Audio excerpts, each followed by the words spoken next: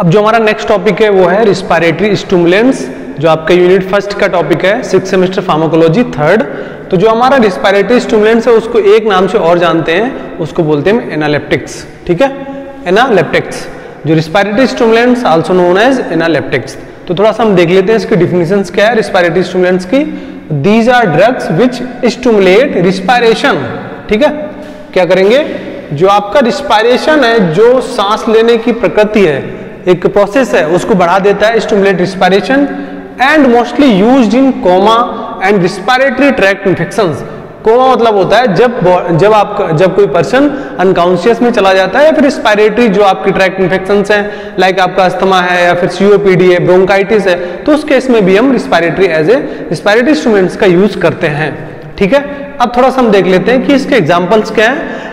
अगर हम थोड़ा सा और देख लें इसके बारे में तो इसमें लिखा हुआ है the margin of safety is narrow ठीक है? The margin of safety is narrow of all the respiratory stimulants इसका मतलब है कि जो आपके रिस्पायरेटरी स्टूमुलेंट्स हैं सेफ्टी नैरो का मतलब है कि उनकी जो टॉक्सिसिटी है वो ज़्यादा है और जो सेफ्टी है वो कम है इसलिए उसको बोला गया है। सेफ्टी इज़ नैरो आगे समझ में? And the therapeutic role is very limited as a clinically अगर हम बात करें तो जो आपके रिस्पायरेटरी इंस्ट्रूमेंट है, बहुत ही कम यूज़ होते हैं। एज ए रिस्पायरेटरी इंस्ट्रूमेंट बहुत कम यूज़ होते हैं। क्लियर अब देखो, हम देखते हैं एग्जांपल्स क्या क्या हैं रिस्पायरेटरी इंस्ट्रूमेंट्स के। सबसे जो मोस्ट कॉमन ड्रग है आपकी, वो है डोक्सा प्रोम ठीक है? डोक्सा प्रोम जो आपकी रिस्पायरेटरी इंस्ट्रूमेंट है वेल नोन रिस्पायरेटरी इंस्ट्रूमेंट है। इसके अलावा आपका कैफीन भी बहुत अच्छा काम करती है। थियोफाइलिन है एंड बस्पिरोन ठीक है?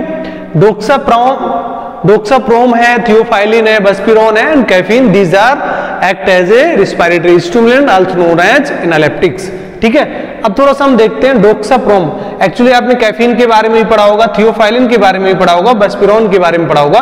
बट जो आपकी डोक्साप्रोम है, बहुत ही वेल नोन रिस्पायरेटरी स्टिमुलेंट्स है तो थोड़ा सा इसका हम डिटेल देख लेते हैं. तो जो आपकी डोक्साप्रोम है कैसे काम करती है? Mechanism of action respiratory stimulation ही क्या करती है? रिस्पायरेटरी को स्टिमुलेशन करती इन मेडुला मतलब ब्रेन के अंदर जो मेडुला आपका पार्ट है, वहाँ पर रिस्पायरेटरी को स्टिमुलेट करती है through peripheral carotid chemoreceptors जो आपके कीमो रिसेप्टर्स हैं कैरोटिड कीमो रिसेप्टर्स हैं, उनके थ्रू मेडुला में रिस्पायरेशन बढ़ाता है एक्टिवेट करता है उसको, जिससे आपका रिस्पायरेशन रेट जो है, वो इंप्रूव हो जाता है।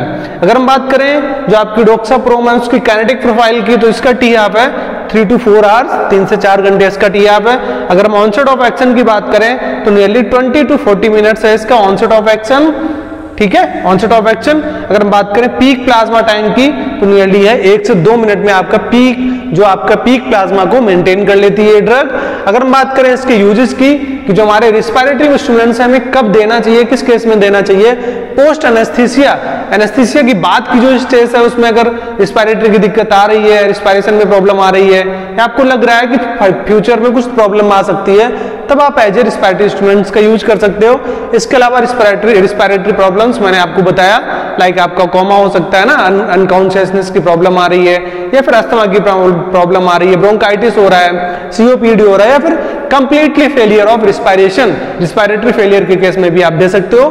कॉमा आपको बता दिया द फीलिंग ऑफ़ अनकॉन्शियसनेस तो ये जो स्टेज है आपकी मेडिकल इलनेस है जिसमें आप रिस्पायरेटरी स्टिमुलेंट्स का यूज़ कर सकते हो। बट मैंने आपको बताया कि these are drug have limited therapeutic action ठीक है? तो बहुत ज़्यादा यूज़ नहीं होती हैं बट आपके सिलेबस में है तो आप थोड़ा सा इसकी इतनी जानकारी रख लो कि क्या ए, मतलब मैकेनिज्म ऑफ़ एक्शन है इसका काइनेटिक प्रोफ़ाइल क्या है और हम कब यूज़ करते हैं डिफिनेशन क्या है इतना आपके लिए सफिशियंट है। अगर हम बात करें एडियास एडवर्स रिएक्शंस की पैरेक्सिया पैरेक्सिया मतलब होता है फीवर जब आपकी बॉडी का नॉर्मल टेम्परेचर से और ज़्यादा बढ़ जाना उसको बोलते हैं पैरेक्सिया, फीवर। फ्लसिंग मतलब होता है आपकी बॉडी में रेडनेस आ जाए due to excessive release of histamine this is called flushing sweating मतलब आपके पसीन, आपकी बॉडी में पसीना एक्सेसिव स्वेटिंग होने लगे, पसीना आने लगे। उसके बाद burning sensation sometimes respiratory stimulants cause burning sensation in your body ठीक है? तो आई होप आपको समझ में आ गया होगा। अगर आपको कुछ डाउट है, कोई कमेंट्स है most welcome in my comment section thank you